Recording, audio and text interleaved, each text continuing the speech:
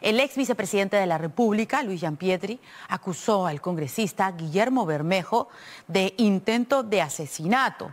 En tanto, el legislador aseguró que se trata de acusaciones falsas y que demandaría a Pietri. Y no es cierto que la acusación era por asesinato, como dice el infeliz eh, almirante Pietri. Por favor, guardar el norte. la señora vicepresidenta, ¿no parece, ¡Cállate la boca! ¡No hables de ¡No hables de ¡Terrorista, boca sucia! ¡Cállate! El debate en el Congreso degeneró en un lío de mercado. Congresista Bermejo, retire la palabra, por favor, eh, que ha pedido la congresista Yarno. ¿Cuál palabra, señor presidente? Lo que se ha referido a la... Eh, no, mira, por, mira. Por eso, hagamos diálogo, porque me voy a ver... vamos. Este lío, sin embargo, se inició horas antes, en la ceremonia de homenaje a los comandos Chavín de Guantar, por el 25 aniversario del rescate de los rehenes.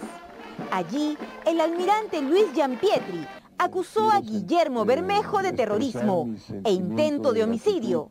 En su despacho dejaré yo un documento en el cual se habla de uno de los congresistas más alegosos que tiene usted acá, el señor Bermejo, que intentó asesinar al presidente García y a mí.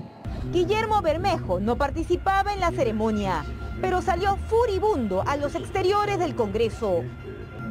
Negó con la cabeza y movió el brazo como reclamando. Pero después pareció cambiar de idea y se retiró. En su casa, en su casa le encontraron anfo y dinamita y dijo que el anfo era para abonar el jardín y la dinamita era para rata blancas, en fin, Navidad.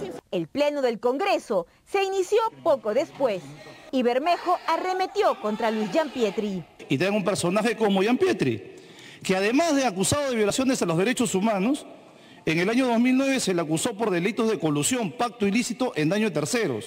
El almirante Pietri es un héroe nacional que merece respeto. El señor Pietri se lanzó a decir que yo era miembro de todas las organizaciones que se le podía ocurrir.